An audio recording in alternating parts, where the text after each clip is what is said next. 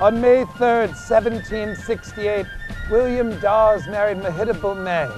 The Boston Gazette noted the ceremony and made mention of the fact that the groom wore a suit made entirely of American materials in accordance with the Whig boycott of Boston products that followed the detestable Townshend duties.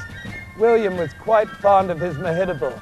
He would later react to a redcoat's insulting remarks towards his beloved wife by pushing the soldier to the ground. This Day in History brought to you by the Freedom Trail Foundation, partnered with the Massachusetts Teachers Association to bring history to life.